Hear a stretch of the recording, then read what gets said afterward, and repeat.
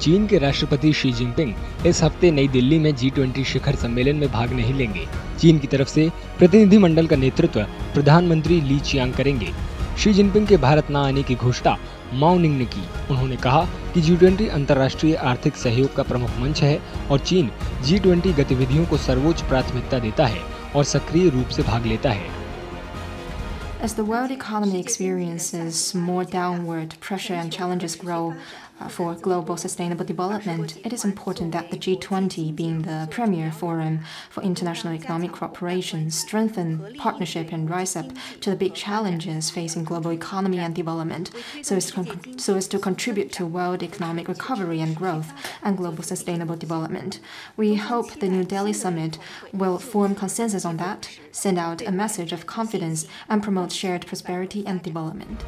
हालाँकि चीन ने हाई प्रोफ़ाइल शिखर सम्मेलन से राष्ट्रपति शी के भारत न आने का कोई कारण नहीं बताया लेकिन विशेषज्ञ कारणों पर कई कयास लगा रहे हैं जिसमें राष्ट्रपति के स्वास्थ्य के बारे में चिंताएँ और जी नेताओं के बीच अलगाव की बातें शामिल हैं Biden would be having, you know, high-level bilateral meetings with the Indian Prime Minister and perhaps with others, and Xi Jinping perhaps, you know, so not uh, having any meeting with any of the head of the states. So that would be a little uh, isolation, you know, uh, China would be feeling and uh, uh, person of Xi Jinping's stature if uh, nothing happens. So then it would be a little belittling China's presence as such.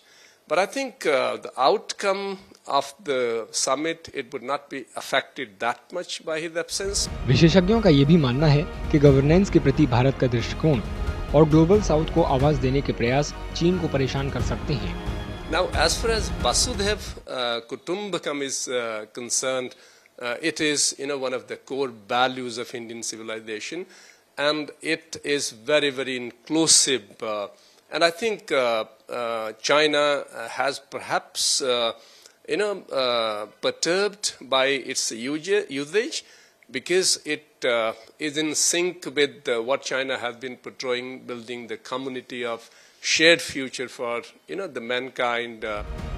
Delhi में 9 और 10 सितंबर को होने वाले G twenty शिखर सम्मेलन में लगभग 40 वैश्विक नेता और बहुपक्षीय संस्थाओं के प्रमुख हिस्सा लेंगे